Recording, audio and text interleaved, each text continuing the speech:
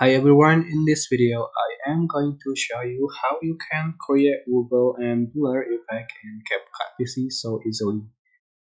So um, for instance, I'm going to select these photos or images here and I'm going to copy paste and then I'm going to animation and I'm going to select wobble animation for um sorry.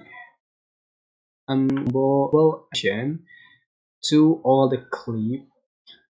Sorry. Um yeah.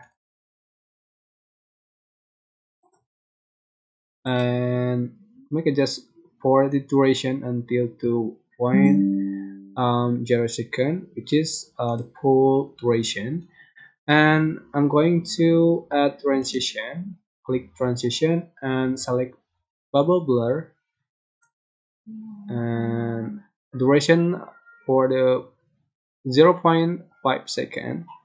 And apply to all the clips. Just click apply to all. And you can see the result like so. And you can also add the audio you like here. Or the another element here. So here we go